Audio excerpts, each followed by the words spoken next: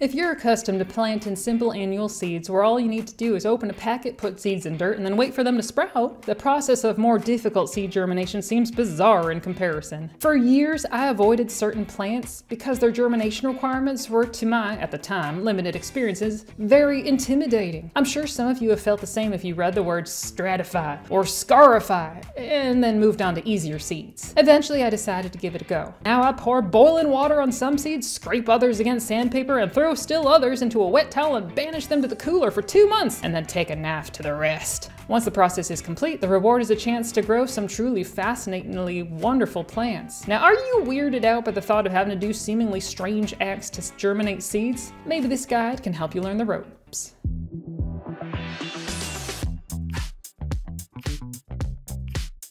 Now, why do some seeds need treatment? All seeds are beautifully designed plant propagation packets. If you look inside a seed, you'll see variations on the same theme. An embryo with its cotyledons, the infant plant, the endosperm, which is a starchy portion that provides nutrition to the seedling before it really gets going with photosynthesis, and most pertinent to this discussion, the seed coat. The seed coat is the hard surface that surrounds and protects the seed prior to germination. With most of our normal garden seeds, all that's needed to get sprouting started is a little bit of water, soil, and sunlight. The seed coat will give way, but with some seeds, seeds. The seed coat is meant to protect the seed through the entirety of a long, cold, wet winter, which is why we see weed seeds emerge from the dead looking soil in the spring. The seed of certain plants just won't give away just with sun and water.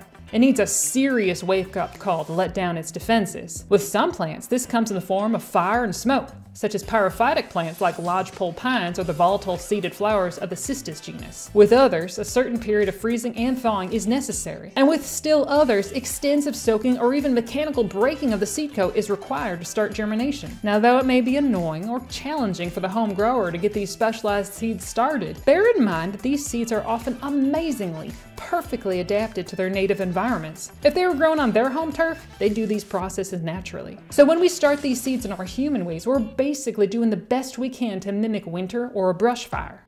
Now, what kind of treatments do some seeds require? Soaking. Now, soaking is as simple as it sounds. Place the seeds in water until they've increased in size, typically 24 hours. Sometimes seeds require room temperature water, while others do better with an application of boiling water that is allowed to cool over a 24 hour soaking period. Scarification. Scarification is the process of physically scraping or cutting the seed coat until the inner seed is revealed. This allows water to infiltrate and stimulate the seed embryo and swell the starches of the cotyledon, allowing the seed to finally stretch its little sprouts and emerge. Sometimes scarification is necessary before soaking. Now, a good idea is to use sandpaper. The reason sandpaper is often used for scarification is that it allows you to slowly abrade the surface of the seed until you've just broken through the seed coat. Holding a tiny seed steady enough to gently scrape a small section can be fiddly, and I confess I often scrape away as much as my fingertips and fingernails as I do seeds. Now call it the seed starter manicure, and so wear it with pride. Now you often want to make sure you're wearing away the seed coat opposite to the embryo. With bean type seeds, this means working on the side opposite the hilum, the eye. With other seeds, you have to do a little bit more research to know exactly where the embryo is situated. Stratification. Stratification refers to simulating winter's rest artificially, usually in a refrigerator. Some seeds will only sprout if they've been soaked, then kept in a chilly, near freezing state while wet for a certain number of days, usually somewhere between 30 and 60 days. Some seeds even need a certain chill, warm, chill, warm pattern. Soaking seeds, then storing them in a damp paper towel inside a plastic bag in the cool dark of the refrigerator or in my off-grid cooler, is usually enough of a winter to get them to let down their defenses and begin sprouting. The biggest challenge with stratification is to remember to check your seeds on a regular basis. Labeling the bag with the date started, then checking on the seeds on a weekly basis is a good habit. If you forget and the cloth or paper towel gets moldy or dried out, your efforts might be in vain. Finally, if you notice any seeds germinating before their big chill is finished, plant them immediately. Smoking. Now for full disclosure, I have no experience using the smoke treatment on any of my own seeds. However, that said, if you are looking to establish any of the near 400 different plant species that require or are greatly aided by smoke for germination, we've got a link to a, an Australian website in the description box below that can get you started with creating your own smoke-infused water or monitoring a bushfire in miniature.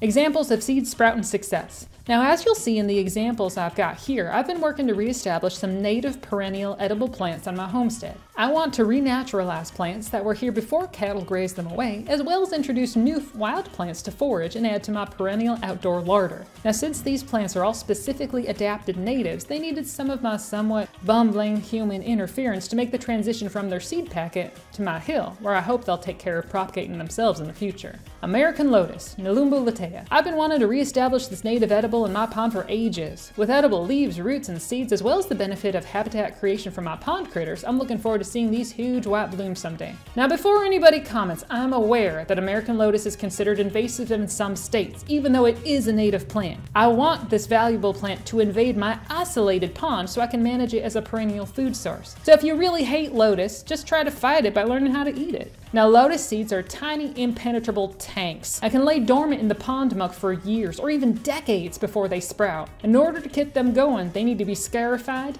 then soaked. I used sandpaper to work through the thick seed coat and then soak the seeds overnight. Once water could start infiltrating the seed, the coat softened and the seed swelled. I took a steak knife to the seed's circumference, carefully avoiding their little belly button where the embryo was attached. The seeds then went into a jar of room temperature water and were left in the sun. The green embryo began pushing the seed apart. Some emerged after a week, while others took nearly a month, emerge into the waking world where my pond is happily waiting. Prairie turnip, Pediomelum esculentum. This starchy rooted prairie native was and still is used as a traditional food for indigenous American nations like the Lakota, and it once grew all across the Great Plains. Now this plant is native to the Ozarks, but rather scarce, as it was one of the plants that disappears when land is grazed by livestock. I wanted to introduce it to my hill and see if it could make an important food source available here once again. The seeds needed to be scarified and then soaked in boiling water and then planted. After all that seeming abuse, it was wonderful to see them emerge from the soil into the sunlight.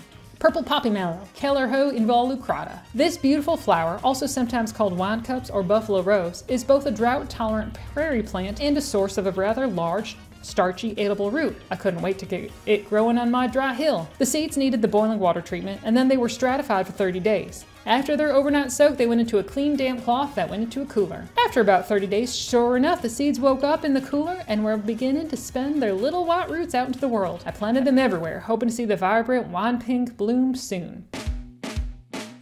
Now though they seem to take a bit more work, I encourage you to give the more difficult seeds a try, whether you need to soak, scar, smoke, or stratify them. I was intimidated by this prospect for years, but now that I've given it a go, I can tell you, it was an amazing process that only served to increase my appreciation for the wonders hidden in the tiniest of seeds.